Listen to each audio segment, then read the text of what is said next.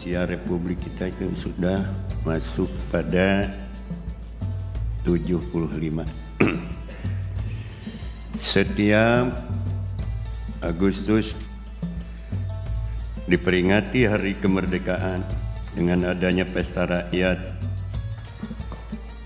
Tapi kalau sekarang karena ada gangguan corona barangkali penyambutannya secara sederhana tapi mudah-mudahan khidmat. Dalam memperingati hari kemerdekaan yang lebih harus diingati oleh warga NU adalah nikmat Allah sehingga setiap 17 Agustus kita lebih memanjatkan rasa syukur kita pada Allah.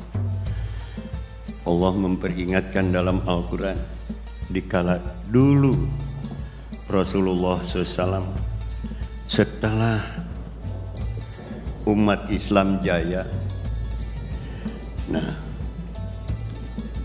setelah jaya itu orang-orang Islam kelihatannya akan rame-rame berebutan jabatan. Kalau tadi sejak lemah berjuang bersama-sama, tapi setelah mendapat kemenangan, jadi mau masing-masing mendapat kuehnya. Maka Allah memberikan peringatan Udhkuru ni'matallahi id kuntum a'daan fa'allafa baina qulubikum fa'asbahtum bi ni'matihi ikhwan.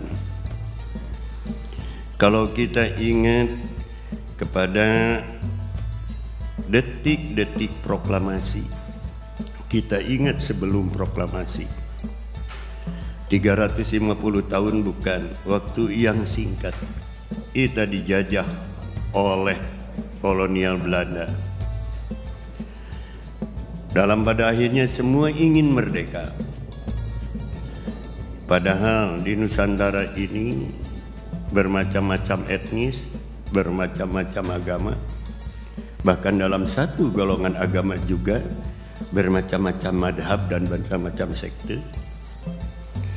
Tapi Allah di sana mempersatukan semua bangsa Indonesia yang berbeda-beda etnis, berbeda-beda agama, Allah babaina.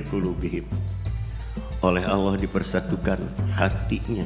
Semua memandang bahwa penjajahan itu adalah musuh bersama. Bukan musuh sewang-sewangan tapi musuh bersama. Musuh umat Islam, musuh orang Katolik, Hindu, Buddha, aliran kepercayaan.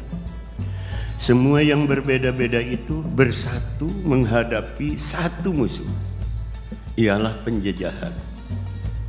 Maka akhirnya jadi kuat. Padahal lau anfakta mempil ardi Andai kata kamu mendermakan, membiayakan apa yang akan di di bumi ini, ma'allafa baina kulubiku. Tidak akan bisa mempersatukan hati-hati kalian oleh Allah ditaklid bangsa Indonesia yang beraneka ragam suku agama itu dalam semua menghadapi satu musuh penjajahan akhirnya jadi kuat maka sekarang pun kita sebetulnya saatnya kita semua golongan semua anak suku bangsa sekarang ada untuk kita bersatu menghadapi satu musuh. Ialah musuh kita sekarang adalah wabah corona.